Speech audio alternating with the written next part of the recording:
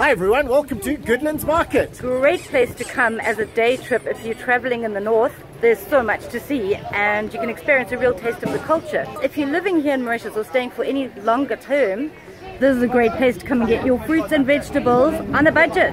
So, come with me, we'll show you around. It has been here for a while and they are building a new one. A lot of the vegetables you're going to find here are actually locally produced. So this is more of a local place than when they get the imported stuff.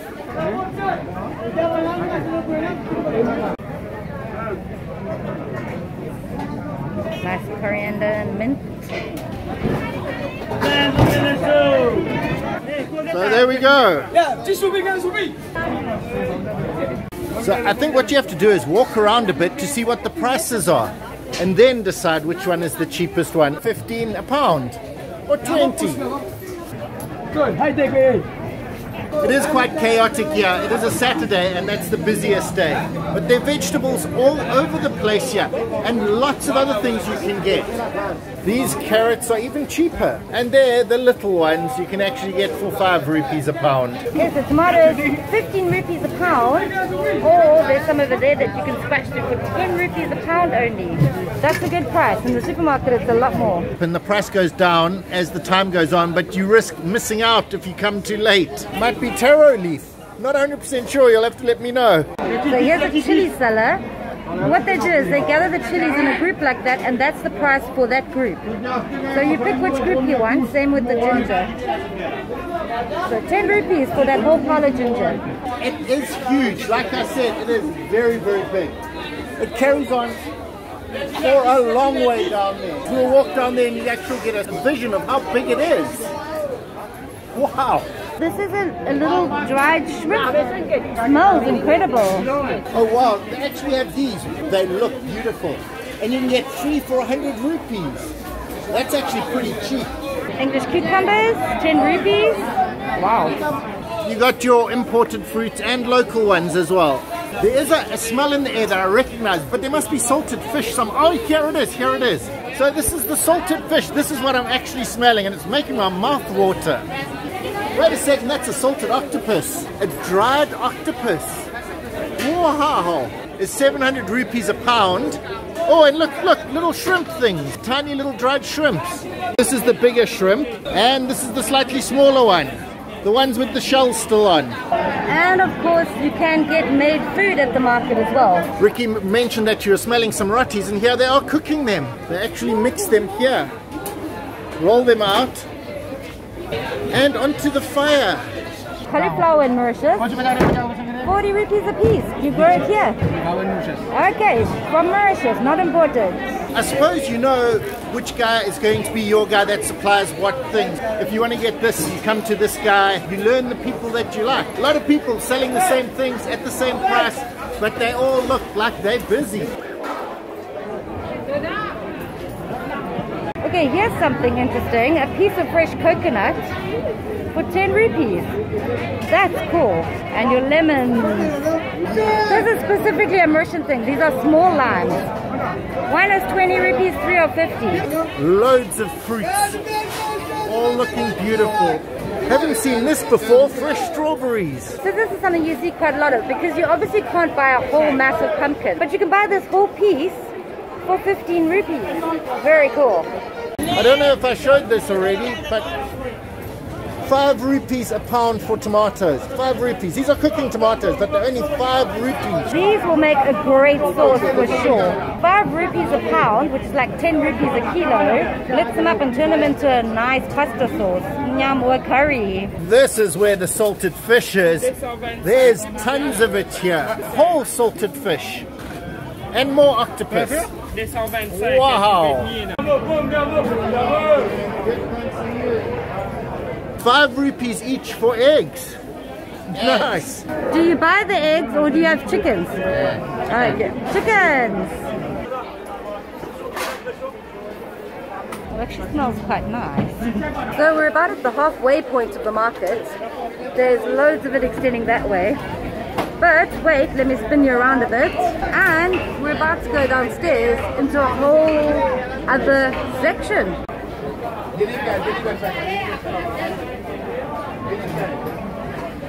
30 rupees per quarter pound for these nice big green chilies.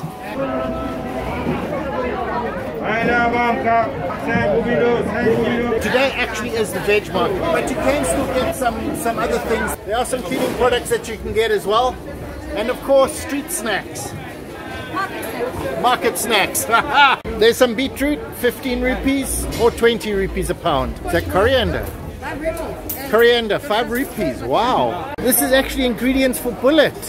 Wow, and you can come here and she actually makes it herself here. Wow. Oh, and that looks like heckin. Heckian. Nice spices. And also there's some shoes. So you can get some shoes.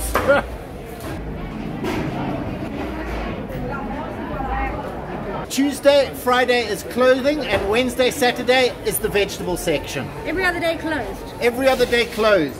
Don't come. At the back end of the market is where the meats are. It's not a big meat section. This is some fish, and she's actually chopping some at the moment. Wow. Very professional. You can get fresh chicken. Gary is actually prepping a tuna steak. He'll actually come and chop it up for you and just give you the meat, so no skin on it. That's how you chop a tuna in half.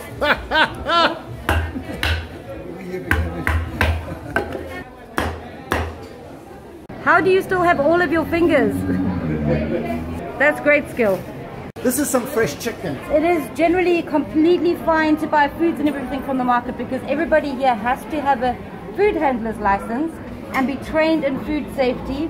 So if you're fancying a bit of a day out or a day away from the beach, hop over to Goodlands Market and experience a little bit of local culture, get some street food, support the, the local farming working community. And when you're getting thirsty, alouda and fruit juice, nice and cold. You can get some noodles for 20 rupees and they come in a pound. I've never actually seen this, but this is actually fresh tofu. 15 rupees for one.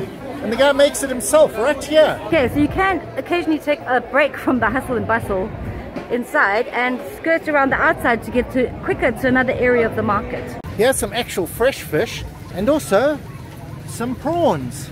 This in here behind me is the actual market. This is the actual market area.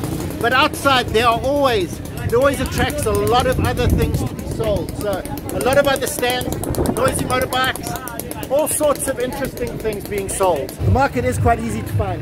This is the main road that runs through Goodlands and the market is just off there. So if you can find your way to this complex, you can actually go through. So right through there is another way into it. So there you are, shortcut into the market. And if you don't want to eat on the go, there's some nice little snack places all around the market with places to sit and eat food. If you don't want to eat any of the street foods, but you're just coming for the experience and still want a, a KFC, there is a KFC right here. If you can find the KFC, you can easily find the market. It's just across the road. This is the Mauritian pestle and mortar. Grinding your spices and coconut and things, making chutneys. This is a biryani guy, and he's my favorite guy in the whole of Mauritius because he's got a sign above him. Veg biryani, Veg biryani vegetarian, uh, chicken biryani. and chicken biryani, and obviously people are hungry. You can actually get deer at the market as well. Hunting season for deer is from June to September. Yeah. So between June until the end of September, you can come get fresh deer at the market. 175 one pound. That's a very good price. Yeah, fresh. Plants, little mini succulents, everything. This is the Goodlands bus station, bus terminal, place where buses come and people leave to go to places. And the market is just right through there. These are the toilets, very easy to find, but they have weird opening dates. it depends on when you come. So right here, at the bus stop. For accessibility, I wouldn't recommend coming in a wheelchair with a pram. There seems to be a lot of steps and uneven ground everywhere. If you're coming by car, the best parking is right here, uh, but it is on dirt, and it does fill up. And make sure that you park so you can get out because people do park you in. Look everyone, they're building a new sugar mill. no, this is the home of the new Goodlands Market. Coming February 2022. Goodlands Market, a great place to experience local culture, buy some fresh veggies, or just have a great day out. I'd just like to say thanks for watching and we'll see you next time.